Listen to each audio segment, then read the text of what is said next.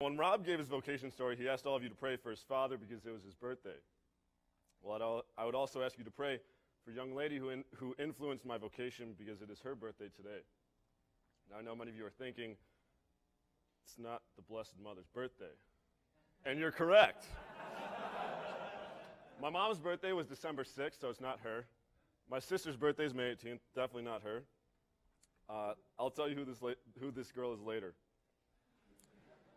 My story starts with my family. We always went to Mass as kids.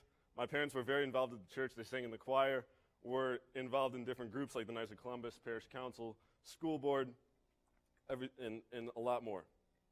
We were always around the parish. My parents taught us from the time we were young to help people out, to be kind and loving to everyone we met. As I, as I grew up, I became very comfortable around the church. I loved helping the priests, getting to know our fellow parishioners. Long story short, I loved being at church.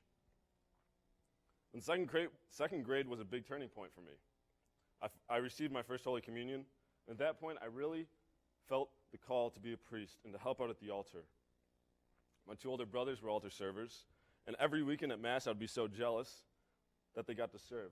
And soon enough, I could have trained the altar servers better than whoever did, actually did, because I would watch them like a hawk the entire Mass, and afterwards, I'd tell my parents everything that they did wrong.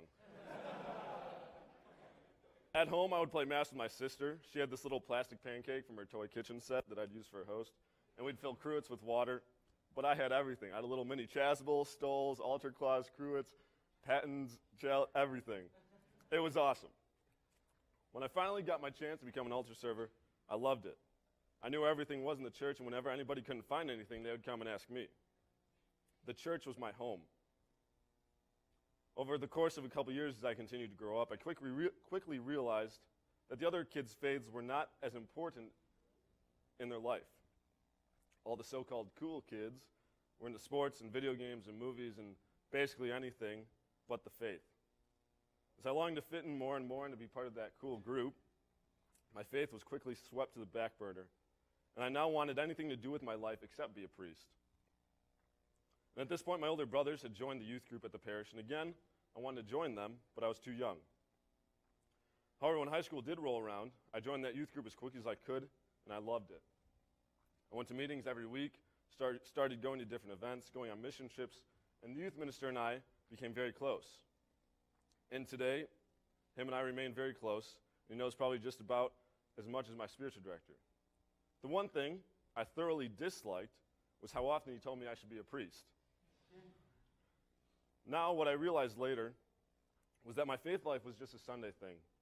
I'd go to Mass with the family in the morning, the youth group at night, and that was it. Even, at, even as I went to Catholic high school, my faith was not strong.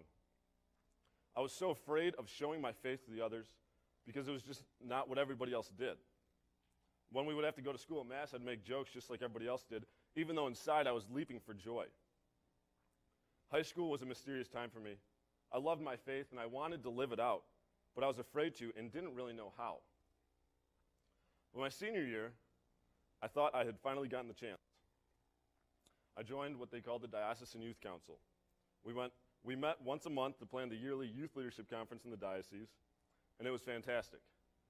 I met other young Catholics from the area, got to serve the church, and at the last meeting of the year, I met the girl of my dreams. So I thought. We quickly got to know each other, and we would talk frequently during the day. I thought this was fantastic. She's Catholic, and I want to become more Catholic. Perfect match. we continued to talk and get to know each other, and eventually we decided to go to Easter Vigil Mass together. right? A little bit of time passed, and not much more happened until the beginning of the summer. As this was going on, though, I needed to make plans for the following year. College was quickly approaching. And the last school I visited, I fell in love with. So I thought. I wanted to study architecture, wanted to play lacrosse, and I wanted a Christian environment. I found Judson University, extremely evangelical Protestant school, new lacrosse team, and a great architecture program. Again, sounds like a perfect match. Well, got in no problem, got on the lacrosse team, and thought I would love the Christian environment. This was all great, but a couple week, weeks after I signed up for classes, I went on another one of those mission trips with the youth group. After that week, just for some reason, couldn't figure out why, just didn't like my plans for school anymore. This was frustrating, and I tried to put these thoughts out of my mind, but God was too persistent. The following week after the mission trip, I went to the youth leadership conference. And there they were talking about what we are supposed to do, in, do with our life and say, you know, do what makes you happy. And I thought about this, and I realized the happiest moments in my life were when I was with the youth group and on mission trips and at the conferences and stuff. So, thought, okay, this will be great. I'll do architecture in the fall, and then I can switch to like youth ministry or theology or something, and I'll become a youth minister. Now, here's where the girl comes in again. I'm telling her all this about, you know, how I'd love to be a youth minister, and she says, you should go to seminary. My response, oh crap, and probably a few other expletives. She told me why, and she told me to talk to her brother who was a seminarian. Now, probably the funniest part about this whole story is that her brother is sitting right in front of me. So I talked to Jim and asked him what seminary was like.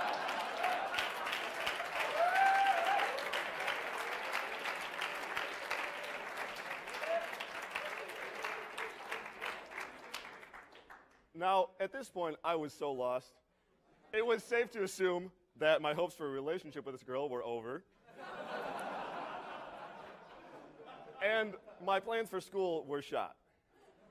I was trying to figure out what to do, trying to figure out what has always been in my life that I can run to and fall back on. And what I found was the Mass. I had nothing else to do, so I started going to daily Mass and praying afterwards.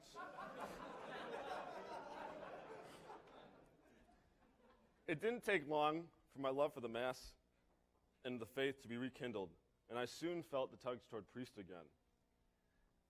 Later that summer, I had the blessings of going to Madrid for World Youth Day. It was phenomenal. I got to hang out with the seminarians, the priests, and the Pope. I had fallen in love with the Catholic Church again. But shortly, I returned to the States and went straight to my new evangelical Protestant school. I quickly realized that the school was not as Christian as I thought, but what they did have was a strong contempt for the Catholic Church. This made my time there very difficult, but I did not back down. In Madrid, I got this Vatican flag, and I hung it in my room in the exact spot. So when you're walking down the hall in the dorm room, you cannot miss it. Just huge. And kids would come in and would ask me about it, and I'd tell them what it is, and they would try and tell me how wrong I was, and I just, nope, it's right here in the Bible.